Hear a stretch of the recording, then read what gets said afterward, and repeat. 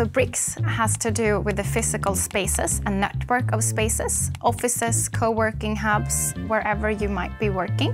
And it's also the services provided in those spaces. So all the things from facility management to helping the employees and the people really getting a great work experience and also enabling them and making sure they can be flexible in their ways of working because they always have a support.